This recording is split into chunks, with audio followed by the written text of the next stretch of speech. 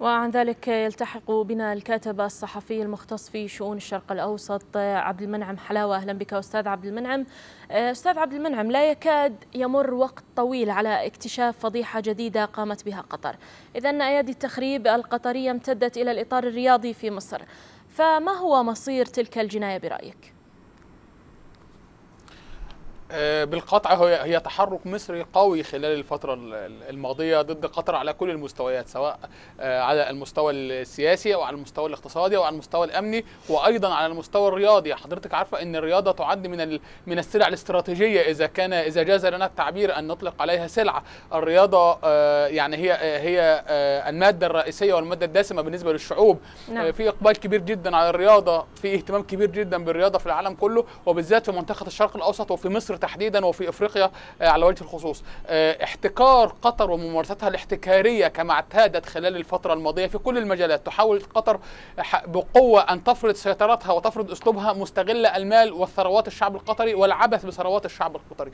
الموقف المصري الأخير هو امتداد واستمرار لسياسة دول مكافحة الإرهاب الأربع العربية ضد ضد قطر. اتجاه قوي خلال الفترة المقبلة أيضا لفتح قطر على كل المستويات بعد أن فضحها العالم أجمع فضحتها من قبل مفوضيه حقوق الإنسان بتصريحات منسوبة إلى زيد بن رعد فضحتها أيضا مؤخرا أو بالأمس الجنائية الدولية بعد تصريحات مغلوطة ومنسوبة لبنسوتا المدعية العامة فضحتها من قبل منظمة الطيران المدني الإيكاو عندما عندما أكدت كذب ادعاءات قطر من أن المقاطعة تؤثر على حركة الطيران العالمية نعم. اليوم تفضحها مصر في مجال الرياضة وتؤكد على أن قطر تمارس احتكارا وتمارس ارهابا رياضيا على الدول الإفريقية وعلى دول العالم من خلال احتكار بث المباريات. شيء غير مقبول بالمرة المتاجره بمشاعر الشعوب والرياضة التي تمثل بالنسبة للكثيرين وسيلة للتسلية وربما وسيلة للخروج من من الظروف الحياتية المختلفة ورغبة في متابعة مباراة كرة القدم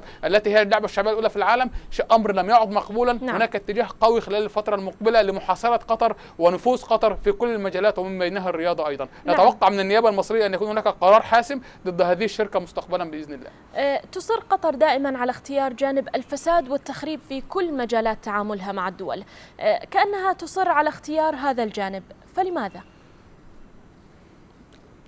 أعتقد إن دي السياسة اللي بتنتهجها قطر منذ أكثر من عقدين من الزمان. هي فكرة السيطرة على الشعوب محاولة السيطرة على الشعوب إما بالمال وإما من خلال أذرعها في الجماعات المسلحة والمتطرفة المنتشرة في في عدة دول وإما أيضا من خلال الاستغلال الفساد الموجود في بعض المناطق وفي بعض الدول لبسط نفوذها وبث سمومها.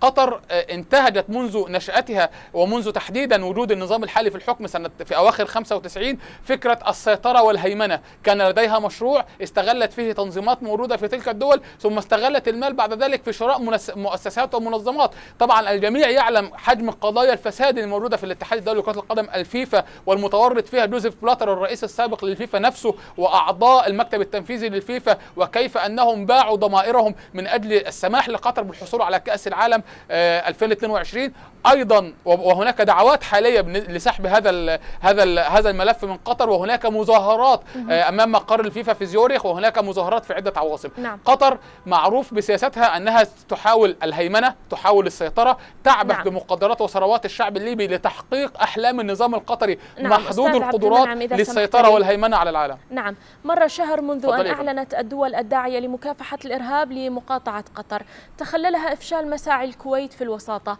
آه، ماذا تنتظر من تلك الدول؟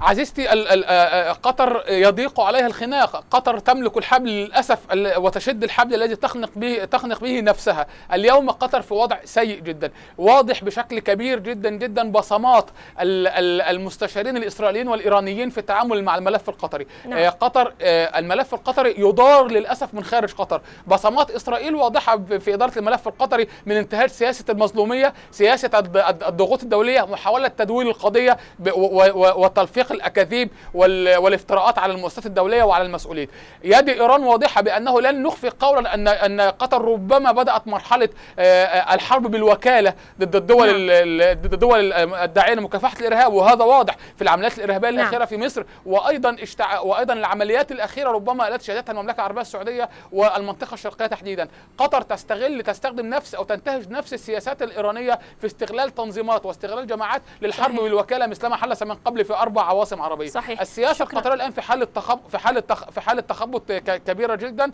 الدول العربية يعني عزمت وحزمت موقفها بأنه لا تراجع عن تغيير السياسة القطرية تصريحات وزير الخارجية المصري بالأمس لفيدريكا موجريني آه، وزيره خارجيه الاتحاد الأوروبي كانت واضحة هناك نعم، نعم. عزم وهناك إصرار من دول الدول العربية الأربع لمكافحة الإرهاب لتغيير السياسات القطرية شكراً لك اليوم نعول على على, على. زياره وزير الخارجية نعم. الأمريكي. شكرا جزيلا لك الأستاذ عبد المنعم حلاوة الكاتب الصحفي المختص في شؤون الشرق الأوسط. شكرا جزيلا لك.